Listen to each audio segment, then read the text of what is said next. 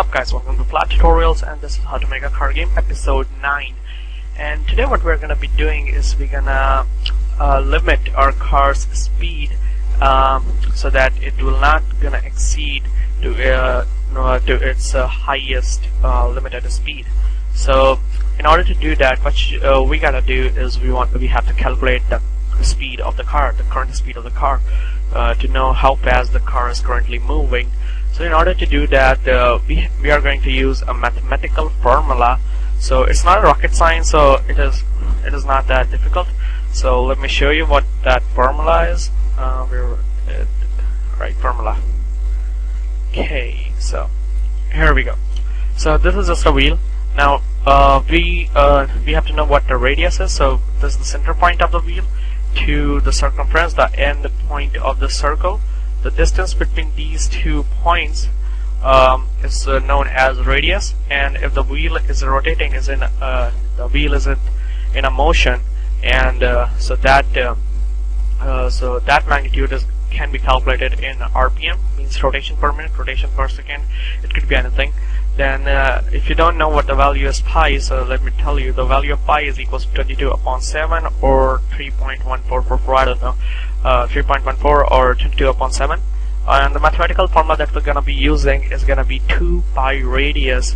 Now 2 pi radius is uh, we're gonna calculate the circumference of the circle or the circumference of the tire. And times RPM we're gonna give the value to how fast the car is moving. Now if we take this radius in centimeters then the value the then the magnitude we're gonna get over here will gonna be equals to centimeters in minute means uh, the, the, car is moving in centimeters per minute uh, the magnitude will be. So um, now uh, we need to convert it to kilometer per hour.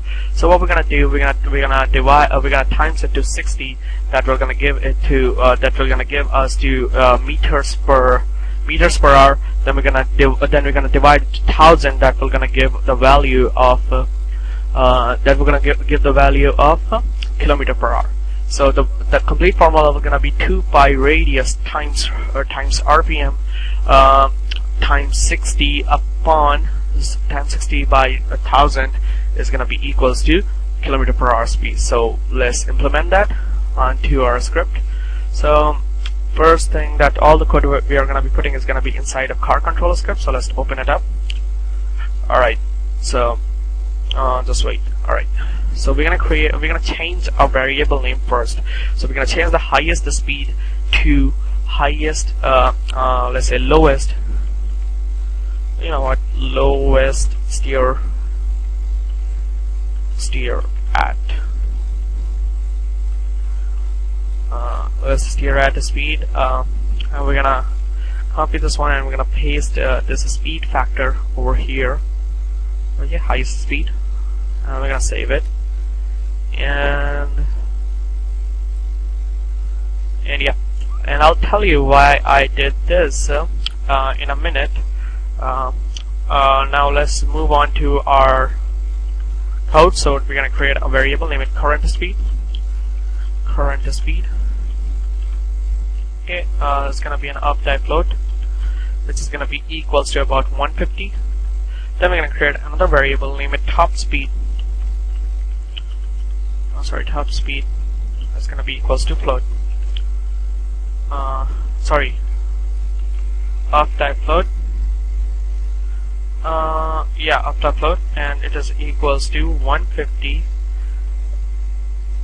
And uh, the current speed float is going to be equals to nothing. That's the wrong thing.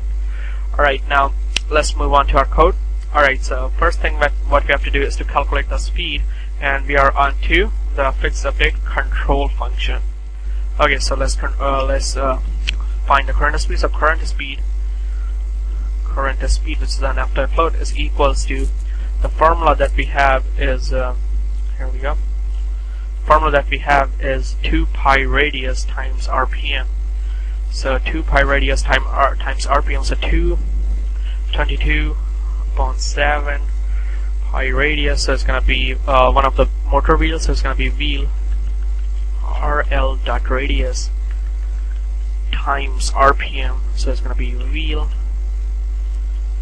rl dot rpm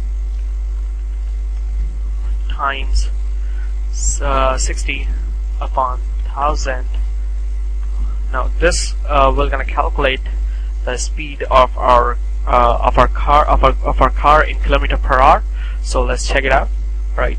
Now we're gonna take a while. Right so we are here. Now here we go. This is the current speed. Now let's see. Alright now let's start. I can see it is calculating the speed but uh, you know we have this fractional value. We don't need uh, I don't want this fractional value to be shown. So in order to do that we have to round the value off. So it's gonna be current speed. Current speed is equals to mathf f. Dot round. Current speed. Current speed.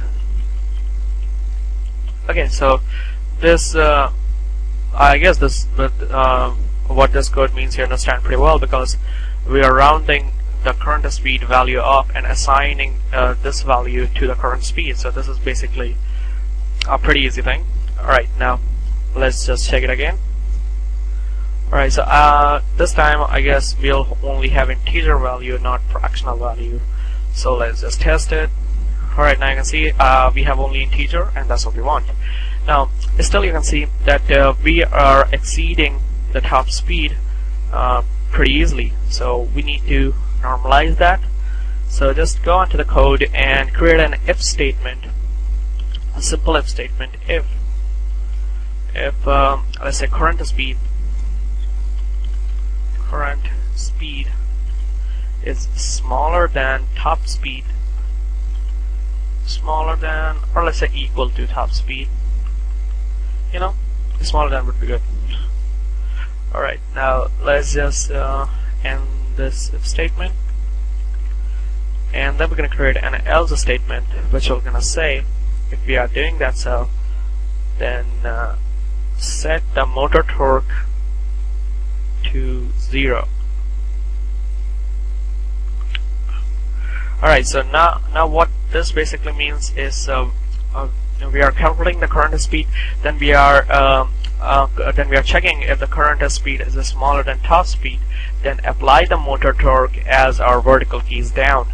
And if this statement is false then set the motor torque of the wheels to zero. So that uh, yeah that's it. And uh, let's go on to the unity and check is it working or not? Alright so now you can see. 50 96 alright 50 now it is normalized. You can see. Not exceeding than 50 and it is slowing down. But you know one problem we have is we don't have limited reverse speed. Uh, we still have massive amount of reverse speed. We can go about 1000 km per hour. It doesn't really matter. Um, we're gonna normalize the reverse speed in our next episode. Uh, and uh, one more thing you're gonna ask me about why I did the uh, did this highest um, speed to lower steer at lower steer at speed. So I did it I did this because if you are using the, the top speed and uh, the top speed and speed, uh, factor it will gonna give us a massive amount of speed at really high speed. So that's why in order to fix that I have created two separate variables so that we don't have to mess with those things. So yeah. I'll catch you in my next episode and I hope that you understand pretty well this formula. Uh, or you can use uh, instead of using 22 upon 7 and uh, it will gonna give you exact same value that you want and yeah I'll catch you in my next episode thanks guys and give me suggestions give me all that good things that uh, that help us that help me a lot and subscribe me, a like, comment, do all that good stuff that you do. And yeah, I'll catch you in my next episode. Thanks, guys.